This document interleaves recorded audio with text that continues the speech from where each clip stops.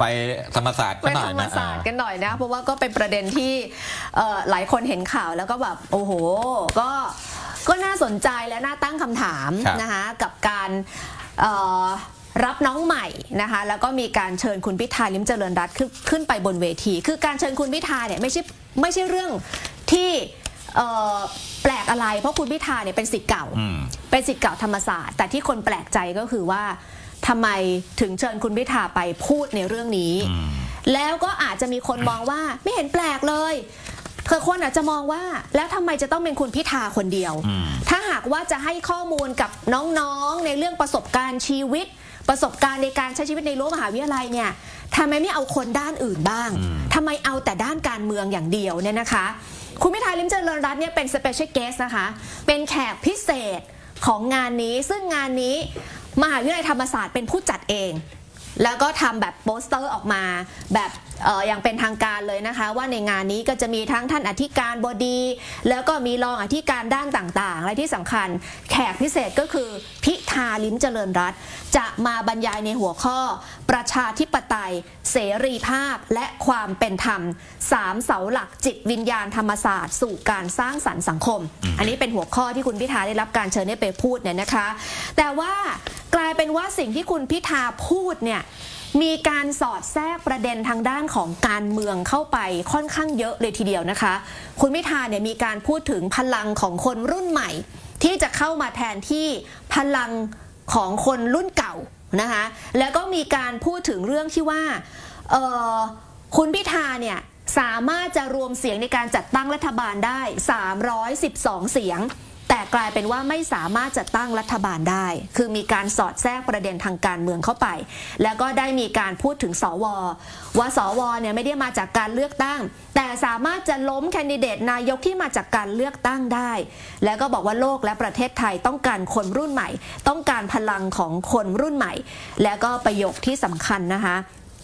คุณพิธาก็ยังบอกด้วยว่า จิตวิญญาณของธรรมศาสตร์เนี่ยก็เหมือนกับจิตวิญญาณของก้าวไกลครับอะไปฟังเสียงคุณพิธากันช่วงหนึ่งบนเวทีค่ะ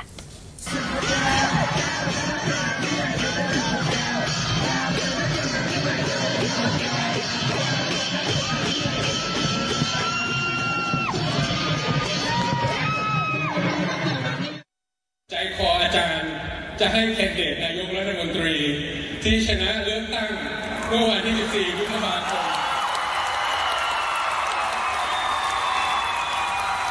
รวบรวมเสียงได้ 312 เสียง แต่ถูกสภาบนปัดตกไปทำให้เข้าบ้านใหม่ที่ชื่อทำเนียบรัฐบาลไม่ได้ มาพูดเรื่องนี้จริงๆเหรอครับอาจารย์ ถ้าเป็นภาษาผมกับอาจารย์คงต้องใช้คำว่าปากเหมาะเคราะห์ดี ที่แคนดิเดตนายกรัฐมนตรีคนที่ 30 แทนที่วันนี้จะอภิปรายอยู่ในสภากลับได้มีโอกาสมาเจอกับเพื่อนใหม่ที่ธรรมศาสตร์แห่งนี้ ถ้าเป็นภาษาของเพื่อนใหม่ก็ใช้คำว่าจังหวะนรก จังหวะโป๊ะป้ามากนะครับที่เลือกหัวข้อให้ผมมาพูดเรื่องเกี่ยวกับประชาธิปไตยเรื่องเกี่ยวกับเสรีภาพแล้วก็เกี่ยวกับความยุติธรรมสิ่งที่ผมอยากจะบอกทุกท่าน นะครับว่าสิ่งที่ผมได้รับการเรียนรู้เกี่ยวกับสามหลักสำคัญนี้ ที่กลายมาเป็นวิถีก้าวไกลนะครับตั้งแต่เขายุคอดีตอนาคตใหม่ แล้วก็เป็นพรรคก้าวไกลขึ้นมาแทบจะไม่ต่างกันเลยนะครับกับวิธีการทำงานทางการเมืองของพวกเรา กับสิ่งที่ธรรมศาสตร์ได้สอนผมมา และพอดีมันก็ไม่ใช่แค่ผมคนเดียวครับ มันคือธนาธรเจงรุ่งเรืองกิจ มันคือปียบุตรแสงกนกกุล มันคือเท่าพิภพเลี้ยงจิตกร มันคือสิริกัญญาตันสกุล มันคือรังสิมันโรม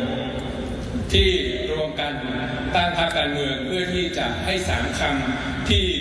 ธรรมศาสตร์ปลูกฝังออกมา เหมือนเป็นธาตุธาตุหนึ่ง เหมือนเป็น DNA หนึ่งที่กลายมาเป็น DNA ของพรรคก้าวไกล มีความใกล้เคียงกันเหลือเกิน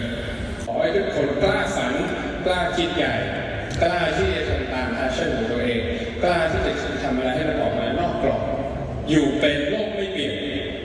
คุณต้องเป็นคนที่อยู่ไม่เป็น อันนี้คือความเป็นดีของธรรมศาสตร์เราเป็นพวกอยู่ไม่เป็น เพราะคนอยู่เป็นโลกไม่มีวันเปลี่ยน ขอบคุณมากครับอะนะครับ คือคือเนื้อหาสาระที่คุณพิธาพูดเนี่ยมันก็คาบเกี่ยวทั้งาสาระที่เป็นประเด็นของมหาวิทยาลัย แล้วก็สาระที่เป็นประเด็นวาระของตัวเอง ในมุมของการเมืองนะครับผมก็เลยบอกโอ้นี่เหมือนกับผู้บริหารธรรมศาสตร์เนี่ยเอาเด็กปีหนึ่งมาให้คุณพิธาเนี่ยนะได้ปลุกเร้าทางการเมืองกันฟรีๆเลย เนื้อหาไม่ต่างอะไรกับที่คุณพิธาลงพื้นที่ไปปราศัยกับประชาชนเลยค่ะอ่าเนื้อหาประมาณนี้เลยค่ะ ว่าทำไมเขาได้รวมเสียงได้มาก เขาเป็นแคนดิเดตนายกที่ได้เสียงมากที่สุดแต่ทำไมถึงจัดตั้งรัฐบาลไม่ได้ เพราะว่ามีสวที่มาจากการแต่งตั้งเป็นคนขัดขวางอืม ถามคำถามคือเนื้อหาเหล่านี้มีประโยชน์อะไรกับการใช้ชีวิตของน้องๆใน 4 ปีหลังจากนี้นะคะอย่างที่บอกนะจัดสถานที่ให้เรียบร้อยไมโครโฟน เครื่องเสียงเรียบร้อย ให้คุณพิธามาปราศัยค่ะนะครับซึ่งแน่นอนนะคนเห็นด้วยก็มีคนไม่เห็นด้วยก็มากนะมีอดีตอ่ารองอธิการบดีของมหาวิทยาลัยธรรมศาสตร์เนี่ยท่านรองศาสตราจารย์หริลักษณ์สูตบุตรเนี่ยนะก็ได้โพสต์ถึงเรื่องนี้ด้วยนะคุณที่คุณพิธาไปพูดเนี่ยโดยท่านก็บอกว่าอ่า เป็นเรื่องธรรมดาที่มหาวิทยาลัยธรรมศาสตร์จะเชิญสิทธิ์เก่ามาเล่าประสบการณ์ให้นักศึกษาใหม่ฟัง เพราะธรรมศาสตร์มีสิทธิ์เก่าจำนวนมากนะครับ ในอดีตเนี่ยธรรมศาสตร์ก็เคยมีความภาคภูมิใจที่สิทธิ์เก่าดำรงตำแหน่งประมุขฝ่ายบริหาร ฝ่ายนิติบัญญัติและฝ่ายตุลาการนะก็คือนายกรัฐมนตรีประธานรัฐสภา แล้วก็ประธานศาลฎีกา เท่าที่มีประสบการณ์นะครับ ในการจัดงานปฐมนิเทศเนี่ยผู้จัดก็จะเชิญสิทธิ์เก่าที่ประสบความสำเร็จในสาขาอาชีพต่างๆ เพื่อเป็นแบบอย่างและเล่าถึงเส้นทาง ของความสำเร็จให้นักศึกษาใหม่ฟัง จะเชิญมาหลายคนอภิปรายพร้อมกันเช่นภาคการเมืองภาคธุรกิจและภาคราชการ แต่ครั้งนี้ดูเหมือนจะมีภาคเดียวและคนเดียวคือ คุณพิธาลิมเจริญรัตน์เรียกว่าเป็นไฮไลท์ของงานนะครับ ซึ่งการแสดงปาคาตาขลางคุณพิธาเนี่ยแม้ว่าจะให้หลักคิดแก่นักศึกษาบ้าง แต่ก็ไม่วายที่จะพูดเรื่องการเมือง ซึ่งเนื้อหาก็ไม่ต่างอะไรจากการปราศัยต่อมวลชนในจังหวัดต่างๆนะครับ อันนี้พอพูดถึงจิตวิญญาณธรรมศาสตร์เนี่ยท่านก็บอกว่าคงไม่มี ข้อความใดที่จะแสดงจิตวิญญาณธรรมศาสตร์ได้ดีเท่ากับข้อความของกุหลาบคุณกุหลาบสายประดิษฐ์หรือว่าสีบุรพาที่บอกว่านักศึกษาและบัณฑิตของมทกมีความรักในมหาวิทยาลัยของเขา